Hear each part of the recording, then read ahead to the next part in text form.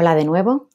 Vamos a empezar con una nueva sesión. En esta sesión vamos a ver lo que es la estrategia de crecimiento y en la sesión de hoy vamos a ver solo la parte de localización y dimensión de la empresa. Bueno, eh, ¿qué tiene que tener en cuenta la empresa a la hora de seleccionar su localización? Bueno, pues tiene que tener en cuenta una serie de variables externas muy importantes. Por un lado, tiene que tener en cuenta la demanda del mercado. Debe analizar si en la zona donde quiere instalar su empresa hay interés hacia el producto que pretende ofrecer. Y además también tendrá que analizar en qué situación se encuentra la competencia. Igualmente, tiene que analizar el aprovisionamiento de las materias primas, valorar si la calidad de las materias primas, el coste eh, que van a tener las materias primas en su zona, la facilidad para obtenerlas, plazos de entrega, facilidades de pago, etc.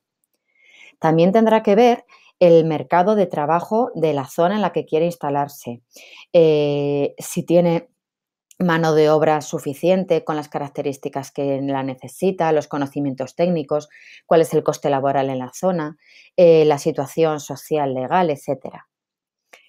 Igualmente, tiene que estudiar las comunicaciones y el transporte, tener en cuenta si hay medios de transporte suficientes, eh, si son los que necesita, si es un lugar de fácil acceso para el transporte en general, si hay buenas comunicaciones.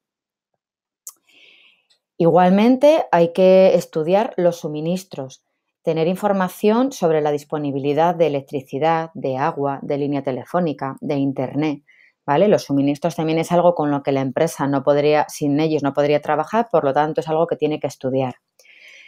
También tiene que estudiar el coste de la construcción en sí y del solar. El coste de los terrenos no es igual en todas partes. Eh, por tanto, cuanto más caro sea el solar, pues mayor le va a ser, mayor le va a suponer la inversión total. Además de ello, el coste de la construcción. Eh, obviamente, en una zona industrial, el precio de un edificio es distinto que si se construye en una zona urbana.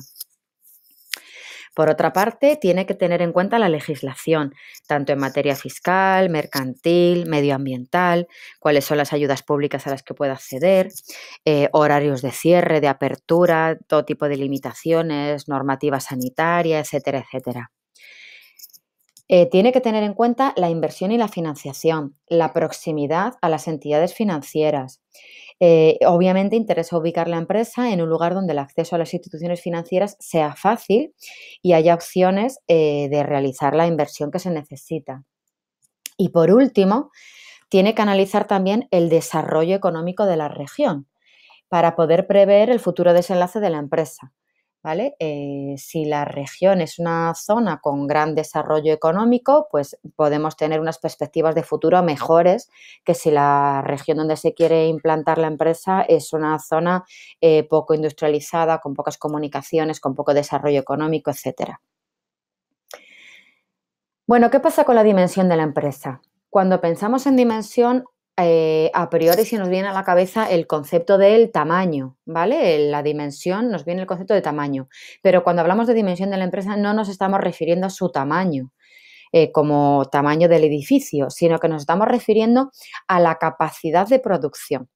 ¿vale? La capacidad de producción es lo que va a definir la dimensión de la empresa y que además viene determinada por una serie de factores como las ventas o la, facturación de la empresa, el volumen de ventas, la capacidad productiva instalada, eh, bajo condiciones normales y bajo un grado de óptimo de, productividad de, ocupación.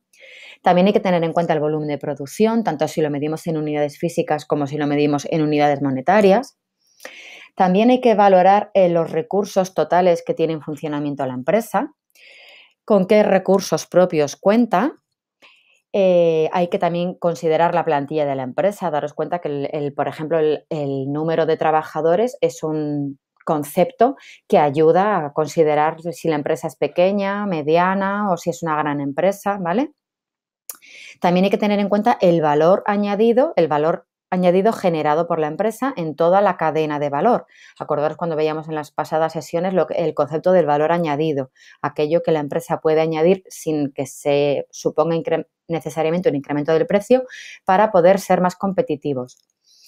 Y por último, también tenemos que tener en cuenta el beneficio bruto, el BA y el beneficio antes de intereses e impuestos.